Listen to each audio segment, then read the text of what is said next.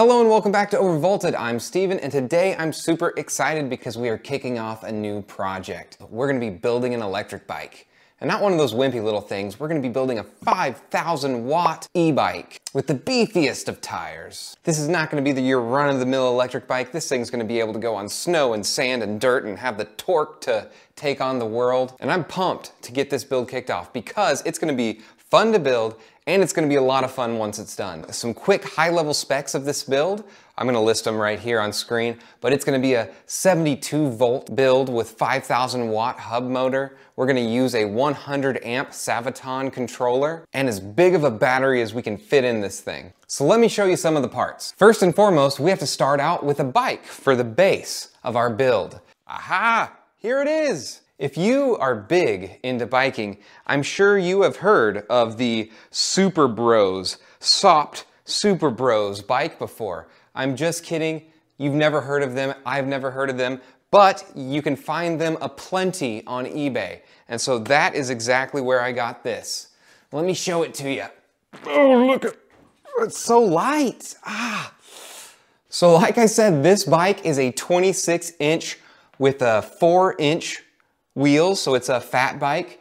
Um, it comes with front suspension that I'm definitely not gonna be trusting because it's gonna snap the first time it hits a rock. I'm not gonna spend too much time on the specs because we are gonna be replacing a lot of these things. The things we're gonna be keeping are the frame, the wheels, well, not even the back wheel. We'll keep the front wheel, probably not even the shocks, not the brakes, not the handlebars, not the rotors, not, I mean, we're gonna be replacing most of these things. Okay, so this thing is just gonna sit over here for the time being. Look at that. It even comes with a kickstand. I'll put a link to one of those in the description, but it's nothing special. If you can find like a mongoose at the local store, you're gonna get something probably better than this. Take a look at this. You probably can't see me. This is the core of our build. It is a 5,000 watt, 72 volt hub motor. And this motor actually is a four turn. If you look at these online, you'll find a lot of three turns for high speed and five turns for high torque. I wanted something right in the middle, so I had them customize me a four turn motor. So I'm hoping that's the sweet spot, the Goldilocks for e-bikes. As far as brand, I have no idea. It has a little sticker on here that says Power Circle. So that's the closest to brand that I know. Um, I'm gonna link some things I find on Amazon that are going to be similar, although I'm not sure if there's gonna be any four-turn version since this one was specifically built for me. This is the motor controller that's gonna try to tame this beast. It's gonna be inputting all the battery voltage and amperage and throwing it to the motor as needed.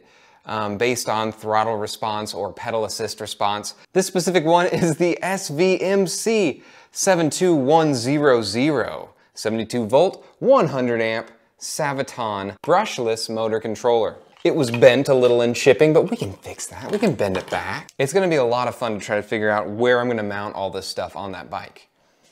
Especially once you see the battery. Let's get it. So this is one of those triangle shaped bike batteries that fits in the triangle. Now that I have it in front of me with the bike right there, I'm very curious to see if it fits. It looks too big. So this specific battery is a 72 volt, 40 amp hour battery. Um, it's also got an upgraded BMS on it so it can output more juice more quicker. All of that might not matter at all if it doesn't fit on the frame. More parts, new bars. The bars that are on there are tiny, they are insane. Instead of the riding your bike with your hands almost touching, we got some new bars that'll be wider and a lot better feel. More stuff, so we've got this one by sprocket. We're gonna be converting the bike to a one by setup just to get rid of that front derailleur, um, save a little bit of cable routing and management and make it just, just clean up the overall bike a bit. And since we're going with a one by setup, I'm gonna install this chain guide system, which has a nice little gear inside it and hopefully will help the chain stay on the bike. This is a narrow wide chain ring, so that does help out a lot, but I figure both of these together, it'll be even better new grips, and very importantly, these are some upgraded hydraulic Tektro E350 brakes.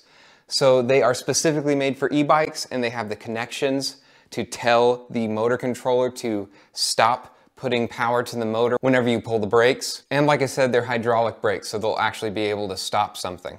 Oh, I've almost forgot, we've got new forks for the bike too, because I don't trust those little flimsy things it came with. Last but not least, it's a water bottle cage holder, because you can't go out biking on your e-bike without having a nice drink, can you? I can't. Okay, so I can't wait any longer. I have to see if this battery fits, because if this doesn't fit, I've got to come up with some other solution to get power to this setup. It doesn't fit. Okay, now that all the wind is knocked out of my sails, let's just cut forward to a time where I have a new plan and I've figured out what we're gonna do here. And we're back, I've got a plan. At least for now, what I'm gonna do is instead of using awesome battery number one from China, I'm going to use the stand-in, the Greenworks 80 volt Pro battery for lawn and garden equipment. This is gonna be a Greenworks powered e-bike. Let's take a closer look at the bike and we'll see where we may or may not be able to fit some of these components.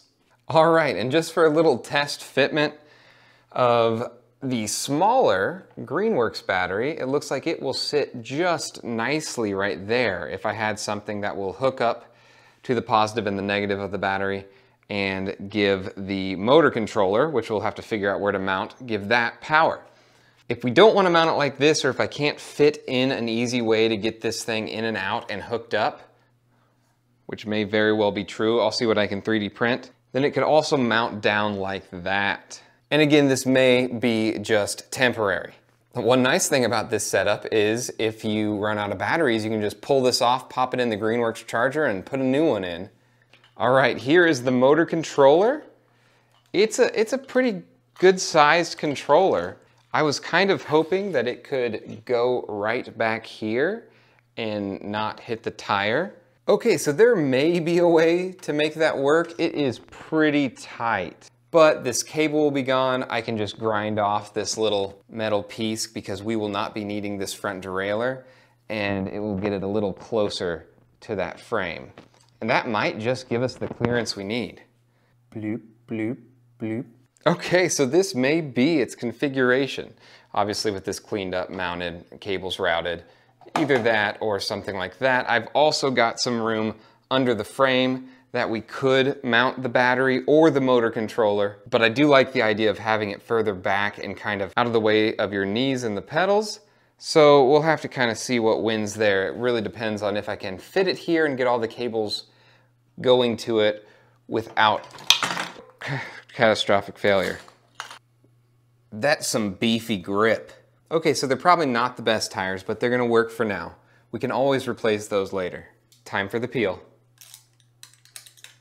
Oh, this is not one of those nice peels, guys. Oh, it's, oh, it's like pulling things off. Oh, you don't want that. I think if I keep pulling, the rest of the tire is gonna come with it. I'm gonna leave it there for now and maybe try a little bit of hot water or something to dislodge it. Anyway, these are the magnificent Mequisis. All right, guys, that's the basic overview and if you guys just saw that square pop up right to my right, your left, then that means the build video for this bike is out. Click on that. And if I'm pointing at a blank space on your screen, ignore me entirely. Or maybe check the comments because maybe I don't know how to get those square things to pop up on YouTube.